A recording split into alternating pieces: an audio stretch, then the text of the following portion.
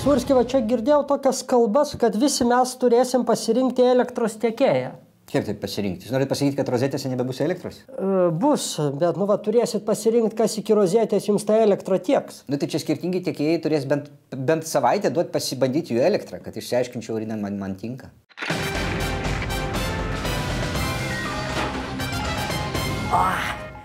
Pagaliau laikas savo. Dievuliau, kaip aš myliu šitą laiką. Pasikaliojimas socialinėse tinkluose. Nu ką, pradėsime nuo twisterio. Nu kas čia dabar pas mane lenda, ha? Nei aš kokią Nobelio laureatę, nei kokią Baltarusę, nu. Kažkai ką aš čia dominu. Ale įdomu. Nu, prašom, neužrakinta. Labą dieną, ponė. Kaipgi e, gyvenate šiuo metu? Aš esu e, brokeris. A, ui, kokia graži pavardė. Čia vokiška, a ne? Ne, ne, ne, ne, ne, ne, ne, ne. Aha, Tai, tai, tai yra mano profesija. Profesija. Profesija. Taip. E, tikriausiai jau girdėjote, kad dabar e, visi vartotojai turės pasirinkti savo tiekėją elektros. Va, dabar jau ir girdėjau. Aš atėjau pristatyti visų tiekėjų. Šiuo metu yra penki variantai.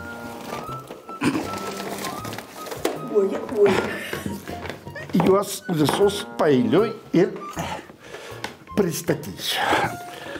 Taip sakant, mažytė, mažytė elektros degustacija.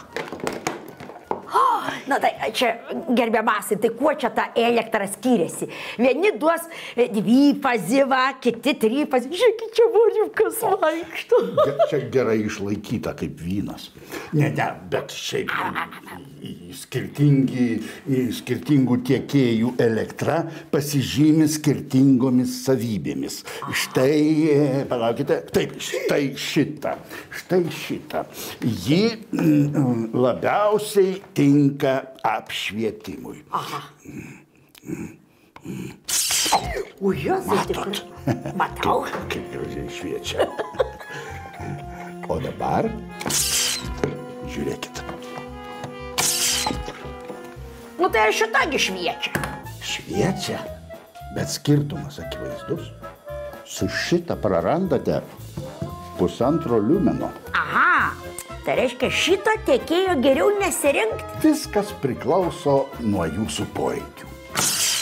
Štai, e, pavyzdžiui, e, šio tiekėjo elektra, jinai labiau tinkama ne apšvietimui, o garso aparatūrai.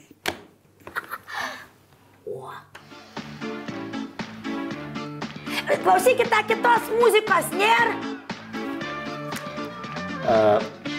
Toliau e, pažiūrėkite, kaip skirsis e, muzikėlė įjungus į pirmojo tiekėjo elektrą. Matau. O. Gudru. Bet čia groja tą patį. Taip, Aha. bet prarandate pusantro decibelo. Ką jis sako? Tai gerai, o tada likusieji trys tiekėjai. O dabar šitą tiekėjo elektrą, turiu pasakyti, labiausiai mėgsta troleibusų vairuotojai. Su šitą elektrą ūsai geriausiai slysta laidais. Bet pasakysiu, e, taip, čia gana aštri elektra. Jeigu turite elektrinį piemenį pievoje, tai šitos elektros tikrai nerekomenduočiau. Per skaudžiai krato. O dabar pabandykite mm, šitą. Įkiškit. Wow, Jesus Christ. A, čia. A, vinis. Kišti. Gerai.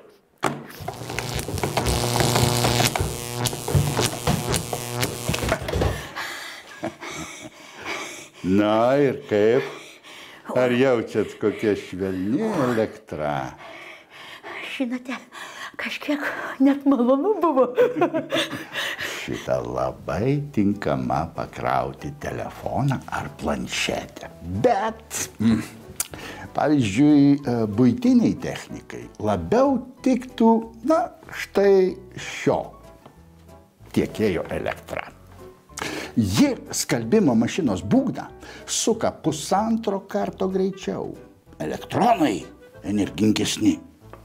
Bet kraunant su šitą elektrą telefoną, telefonas labiau kaista.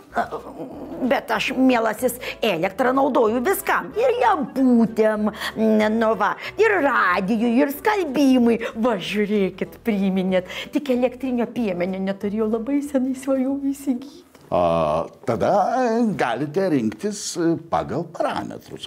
Štai šie du tiekėjai duoda, na, pačius geriausius vatus. Bet štai šito e, tiekėjo naujesni amperai. Omai e, pas visus praktiškai yra identiški. Na, tik spalvos skiriasi. Nu, pas, pas šitą gal, gal ten kažkiek aukštesnės kokybės voltai, bet tikrai ne tiek, kad plika akimi pastebėtume. Dievulio, koks jūsų gražus tembras. Bet žinokit, aiškiau man vis tik nepasidarė. A, na, tada galime rinktis pagal kilmę. Štai pavyzdžiui, šio tiekėjo elektra daugiausiai e, yra e, e, gaunama iš hidroelektrinių. O e, štai e, šio tiekėjo elektra atkeliauja iš e, vėjo jėgainių. Jeigu tyloj įsiklausytumėte, tai netgi galima išgirsti tokį malonų didžiulio vėjo malūno sparnų.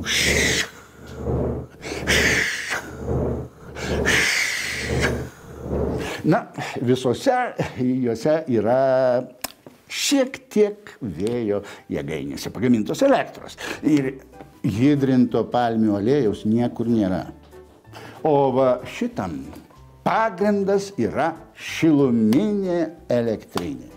Net ranką uždėjus iškart jaučiasi. Na, žinot, aš nuo jūsų to šik, šik, jaučiuosi nesaugiai. O baltarusiška ar yra ta iš Astravo, sakė, labai pigi. Ne, ne, ne, ne, ne. Baltarusiškos nėra. Baltarusiška elektra dabar net nekaltiems žmonėms per rankas trenkia. Mhm. O MON tipo elektronai yra draudžiami Sąjungoje.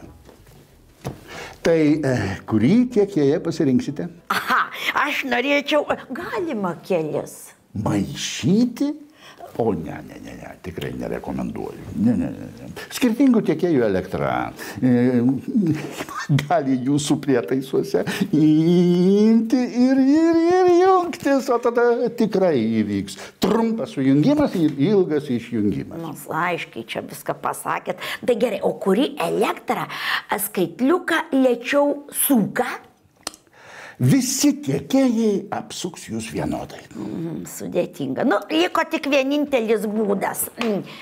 Endendu paparmali U, izarmali paparmali endendu ir išeina dabar laukto. Puikus pasirinkimas. Dar norėsite pasvarstyti. Suprantu, suprantu, suprantu. Sugrįšiu po kelių dienų.